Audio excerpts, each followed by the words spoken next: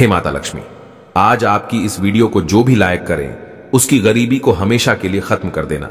उसके जीवन में उसको धन, दौलत, सुख, वैभव से परिपूर्ण कर देना। इस दिवाली के बाद उस व्यक्ति को करोड़पति बना देना, भक्तों चाहे कुछ भी हो जाए। धनतेरस और दीपावली पर ऐसा खाना घर में कभी मत बनाना, पूरा घर परिवार बर्बाद हो जाता है। साथ ही जाने धनतेरस और दीपावली पर ऐसा क्या खाना चाहिए, जिससे कि आपके जीवन में भगवान धनवंतरी की कृपा बनी रहे। माता लक्ष्मी जी की कृपा प्राप्त हो जाए और भूल कर भी दीपावली पर यह सात गलतियाँ कभी मत करना। नहीं तो कंगाल होते, देर नहीं लगेगी। धनतेरस का महापर्व भगवान धनवंतरी को समर्पित है, तथा दिवाली का महापर्व माता लक्ष्मी और भगवान गणेश को समर्पित है, हिंदू धर्म में। अगर दीपावली पर घर में दीप जलाकर माता लक्ष्मी की पूजा ना की जाए तो समझो आपने? धन को ठुकरा दिया है। इस समय घरों को दीपों से सजाया जाता है। भक्तों सबसे पहले जान लेते हैं। धनतेरस को दीपावली कब है? इस साल धनतेरस की तिथि की शुरुआत 29 अक्टूबर मंगलवार को सुबह दस बजकर बत्तीस मिनट पर होगी, और इसका समापन 30 अक्टूबर को दोपहर एक बजकर पंद्रह मिनट पर होगा। ऐसे में उदया तिथि के अनुसार 29 अक्टूबर को धनतेरस का त्योहार मनाया जाएगा।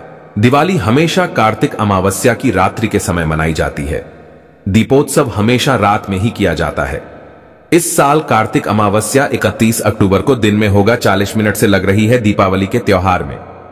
रात्रि के समय अमावस्या होना ज़रूरी है। एक नवंबर की रात्रि को अमावस्या तिथि समाप्त हो जाएगी।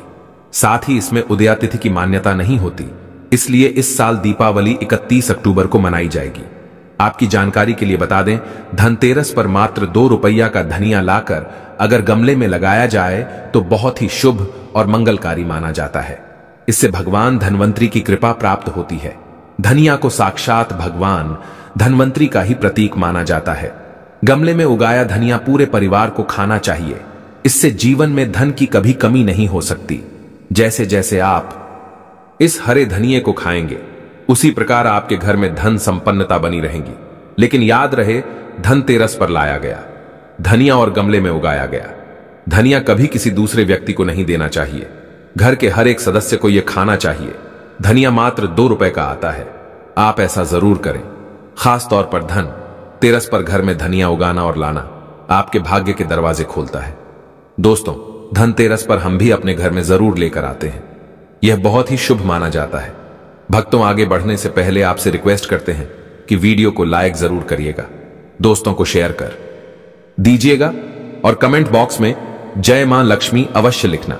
जिससे कि माता लक्ष्मी की कृपा सदैव आप और आपके परिवार पर बनी रहे। भक्तों, आप जानते हैं, धनतेरस और दिवाली पर ऐसी क्या चीज़ है जो आपको ज़रूर खा लेनी चाहिए। साथ ही कुछ ऐसी चीज़ें भी हैं जो घर में धनतेरस और दिवाली पर भूलकर भी नहीं बनानी चाहिए। आइए जानते हैं उनके बारे में दोस्तों, धनतेरस की पूजा में और दिवाली की पूजा में आप सीताफल अवश्य लेकर आए। भगवान धनवंतरी को पाँच प्रकार के फल अर्पित करने चाहिए। आप अपने मन के अनुसार फल लाए, लेकिन सेब, सीताफल, केला अवश्य होना। चाहिए। आदि आप कोई भी पाँच रंग के फल ले सकते हैं, पर भगवान धनवंतरी को और माता लक्ष्मी को नाशपाती कभी मत करना। शास्त्रों के अनुसार जो व्यक्ति धनतेरस और खास त्योहार पर दिवाली पर सीताफल खा लेता है, उसके जीवन में कभी धन की कमी नहीं होती।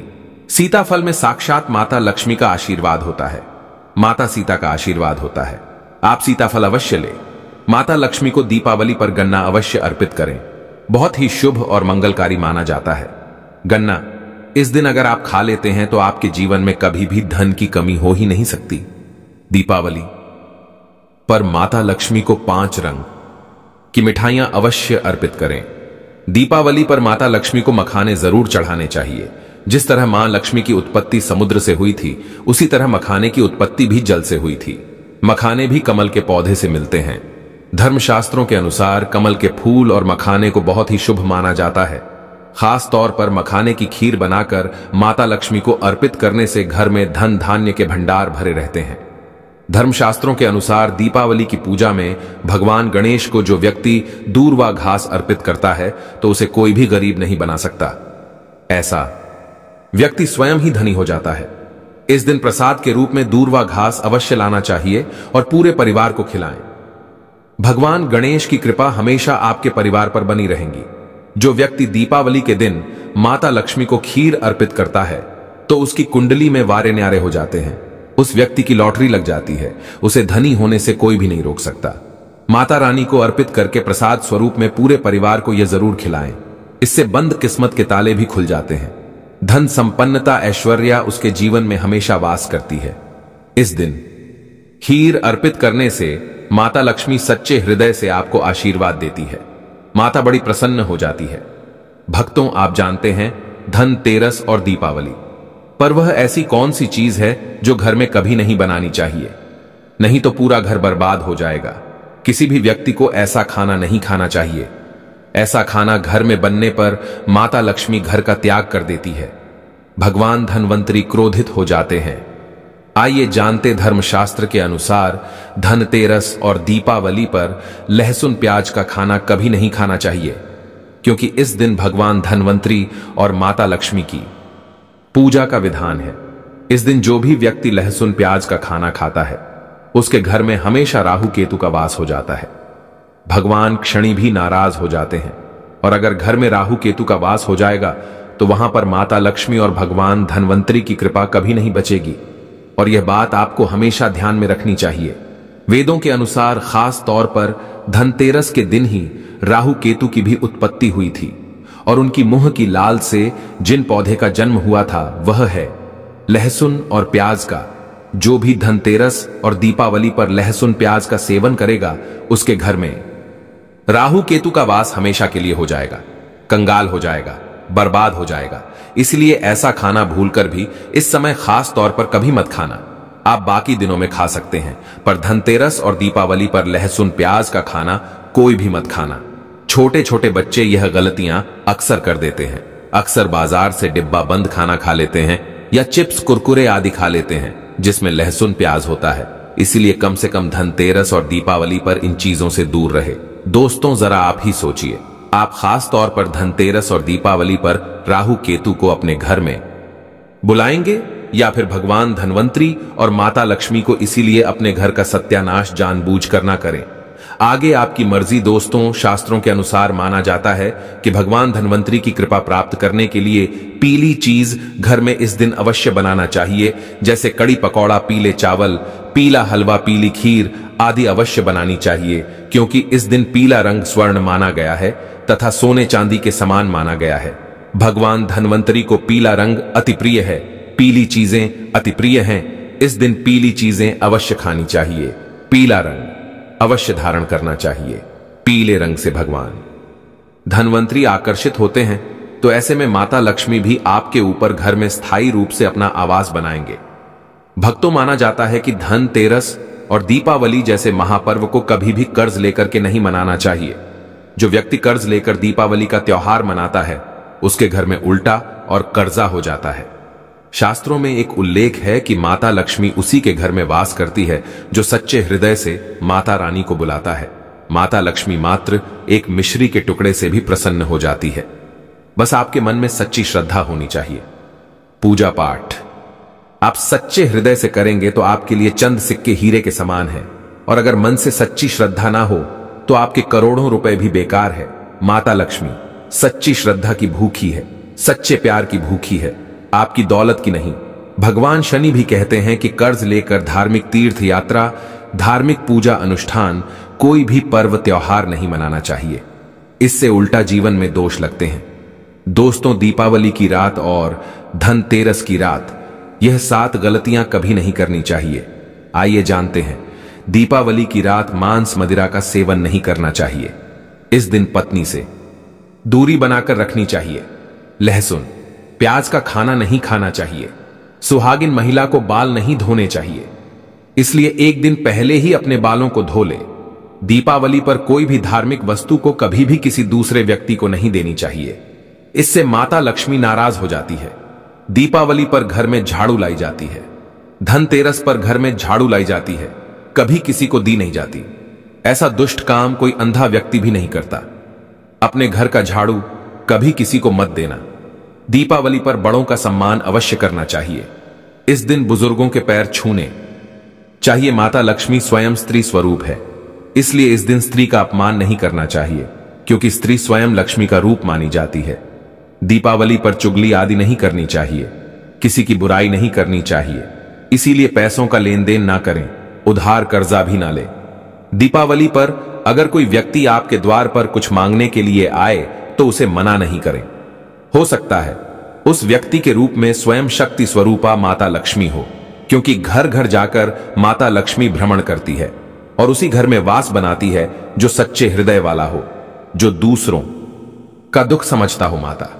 लक्ष्मी साक्षात कन्या स्वरूप है, घर के दरवाजे पर भी आती है, उन्हें खाली हाथ ना जाने दें। कन्याओं को मीठा अवश्य खिलाएँ।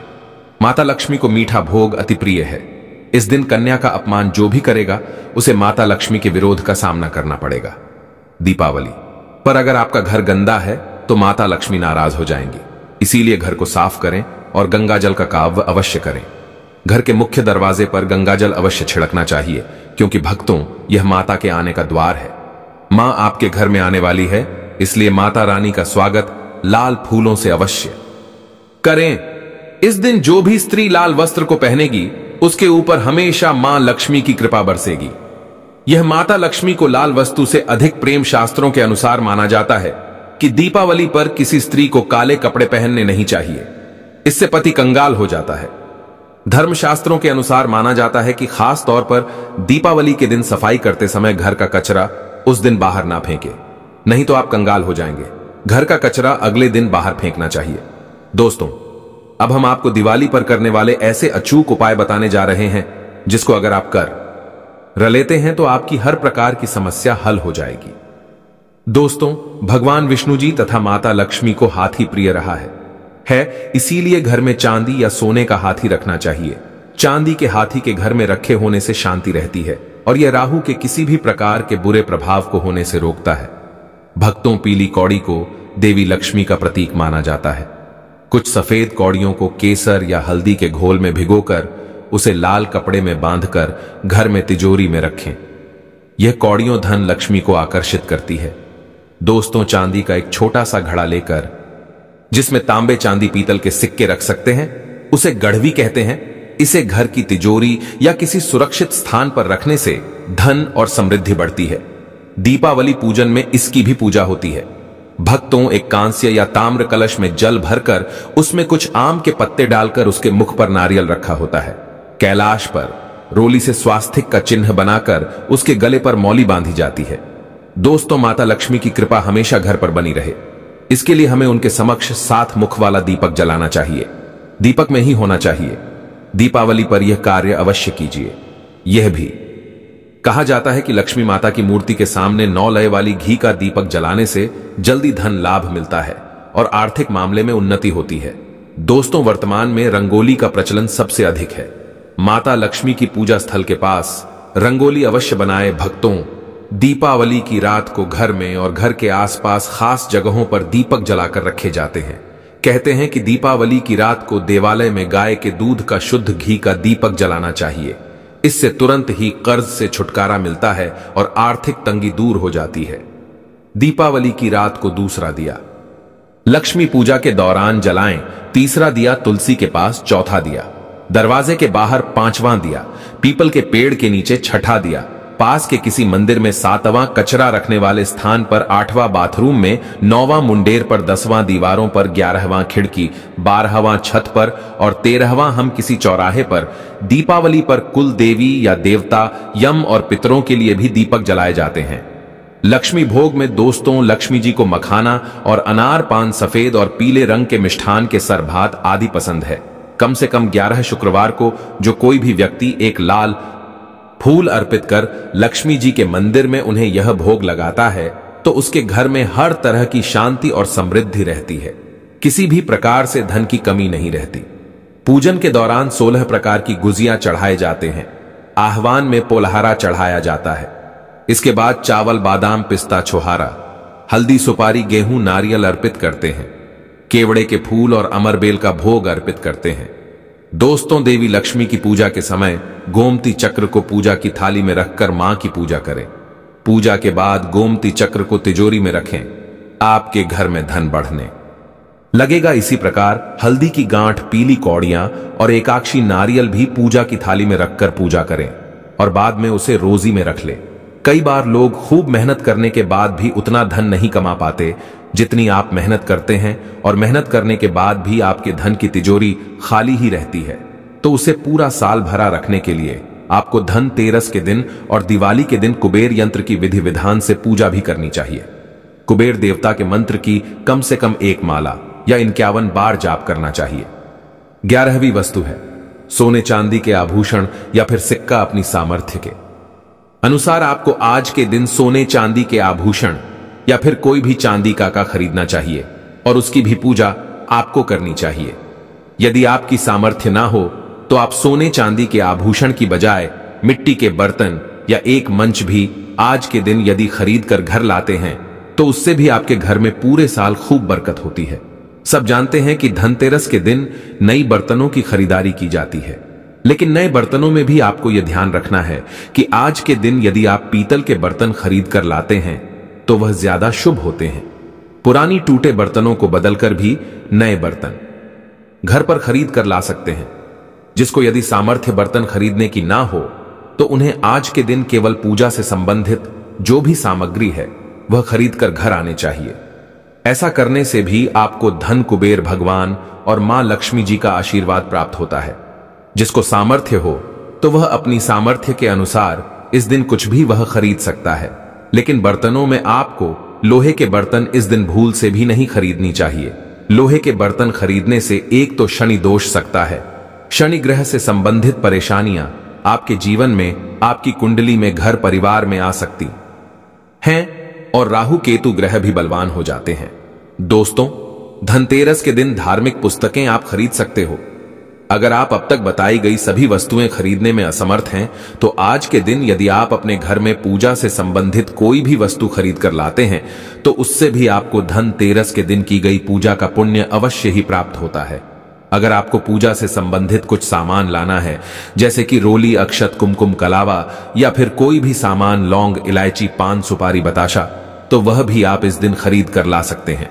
इसके अलावा धार्मिक पुस्तकों में जैसे कि व्रत कथाएँ हैं या फिर पूरे हफ़्ते पढ़ने वाले जो भी व्रत त्योहार है और रामायण महाभारत की किताबें, और अगर आप पढ़ते हो हो तो आप पुराण भी आप अपने घर पर ला सकते हैं। और पुराण घर पर लाने के बाद, जब भी आपको समय हो तो खुद ही पढ़ना चाहिए, और दूसरों को भी पढ़कर सुनाना चाहिए।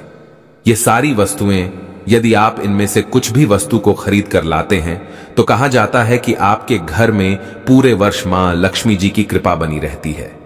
घर में कभी भी आपको कर्ज लेने की स्थिति नहीं आएगी। आप जितना भी कमाएँगे, उसमें आपको दुगनी चौगट मिलेगी। तो दोस्तों, अगर आप सच्चे हृदय से माता लक्ष्मी से प्यार करते हैं तो आप कमेंट बॉक्स में ज़रूर लिखें, जय माता। लक्ष्मी माता, लक्ष्मी आपके घर में दौड़ी दौड़ी चली आएगी। धन्यवाद।